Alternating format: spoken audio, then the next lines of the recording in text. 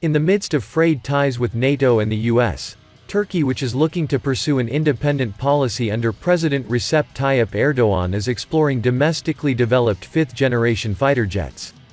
As part of the move, Ankara is looking at cooperation with allies Azerbaijan and Pakistan. Our doors are open for cooperation in this direction. In particular, we are talking about cooperation with countries such as Azerbaijan and Pakistan, and we propose to unite efforts in this direction, the head of the Turkish Defense Industry Committee Ismail Demir said in an interview with CNN Turk. Following its ouster from the U.S. F-35 Joint Strike Program over its acquisition of the Russian S-400 air defense system, Turkey has been pushing its ambitious indigenous fifth-generation fighter jet, known as the TFX National Combat Fighter. The TFX has been planned to be a single-seat, twin-engine all-weather multi-role fighter developed by the Turkish Aerospace Industries, TAI, along with BAE Systems which is providing some technical assistance for the development of the fighter jet. TAI and BAE Systems signed a £100 million strategic agreement in January 2017 for collaborating on the stealth fighter project. As part of this contract, BAE Systems will provide engineering consultancy services and project-related support. The Undersecretariat for Defense Industries, SSM, of the Ministry of Turkish National Defense and TAI inked a deal in August 2016 for the design and development of a homegrown fighter jet. In May 2020, Turkish company HAVELSAN and TAI decided to collaborate for the software development and integrated training for the TFX National Combat Aircraft Initiative. The stealthy fuselage of this fifth-generation fighter jet is going to be composed of superior carbon composites. The aircraft's aerodynamic design is going to further enhance its high-speed capabilities. The aircraft is largely intended for meeting the needs of air-to-air -air combat. However, owing to its sleek design and distinctive features, the TFX can also perform air-to-surface missions. The aircraft is expected to provide a high level of situational awareness, sensor fusion techniques, low observability, and advanced weapon systems.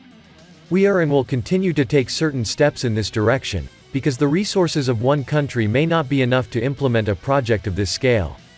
Of course, each country has its own skills and abilities. It is very important to combine these abilities.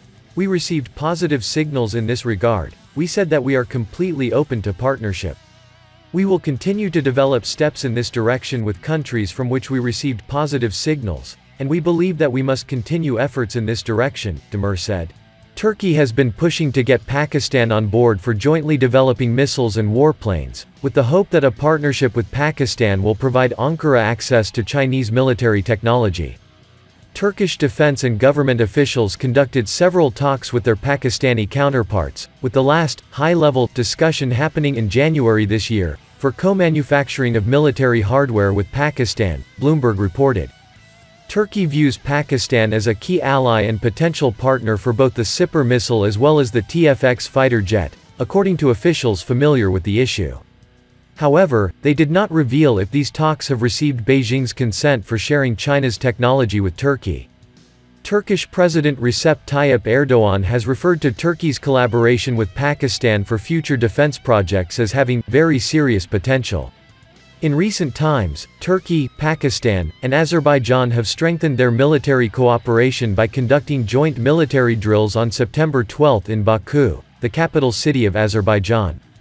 The exercise was known as the Three Brothers 2021, and was conducted with the aim of further strengthening the existing ties between the three armies and helping them find new ways to fight terrorism in the region, according to an official statement.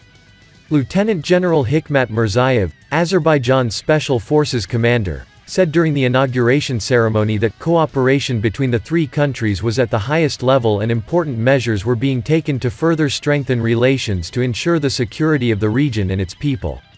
Pakistan and Turkey provided military support to Azerbaijan during the 44-plus days-long Second Karabakh War in September 2020, when Azerbaijan fought against Armenian armed forces.